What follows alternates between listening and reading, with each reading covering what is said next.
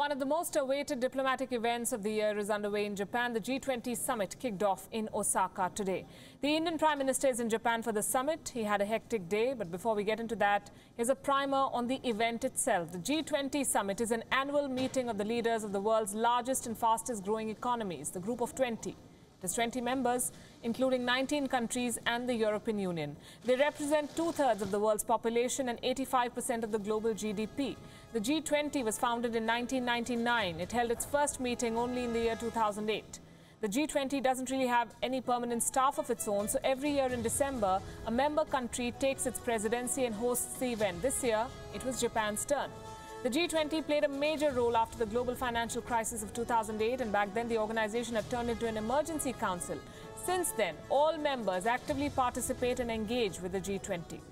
The world economy often dominates the conversation, but important financial, economic and diplomatic issues also prominently feature in the discussions.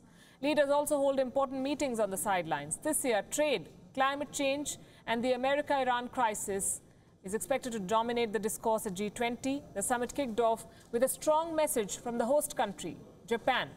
Prime Minister Shinzo Abe urged all leaders to support free, fair and indiscriminate trade. 地政学をめぐるめぐる緊張は増大していますこれらの下方リスクに対処し必要な行動を取るのが G20 の責務でありますすべての政策手段を用いて 成長を実現していくという決意を共有したいと思います。貿易制限措置の応酬はどの国の利益にもなりません。いかなる貿易上の措置も WTO 協定と整合的であるべきです。